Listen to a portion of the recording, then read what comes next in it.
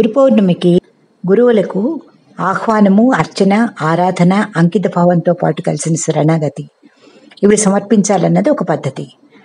గురుబ్రహ్మ గురుర్విష్ణు గురుదేవో మహేశ్వర గురు సాక్షాత్ పరబ్రహ్మ తస్మై శ్రీ గురవే నమ అని ప్రతిరోజు ధ్యాన శ్లోకం చదువుతాం.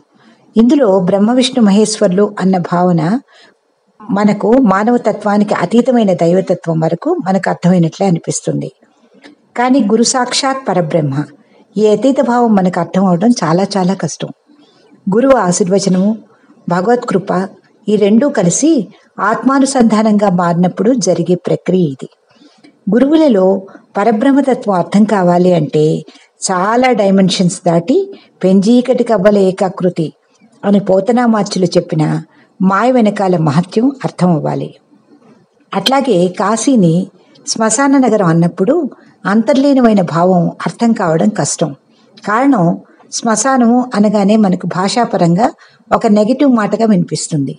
కానీ పరమేశ్వరుని అకారాది క్షకారాంతమైన అక్షర డమరుక నాదంతో కాలిమువ్వల లయబద్ధ విన్యాసంతో నిరంతర బంధనాలతో కర్మ శేషాలతో కట్టుబడిపోతున్న జీవుణ్ణి అతి తేలికగా అవిముక్త స్థానానికి తీసుకెళ్ళేందుకు స్వయంగా వచ్చి జీవునికి తారక మంత్రం చెవిలో బోధించే ఈ అద్భుతమైన నగరంలో శ్మశానంలో వసంతాలు పోయించి భౌబంధాలను తొలగించే ఆది గురువు నివసించే ఈ శ్మశాన నగరం మనలో ఎన్నో మాయాబంధాల్ని మటుమాయం చేస్తుంది.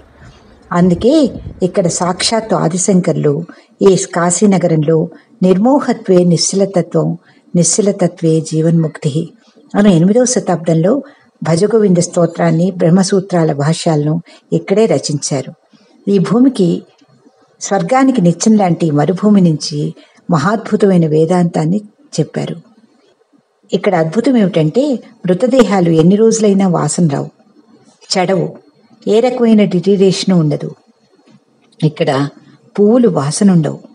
ఆత్మజ్ఞానం తప్ప ఇక్కడ ఈ భూమి గురించి తెలిసిన వారికి మరొక భ్రమ ఉండదు.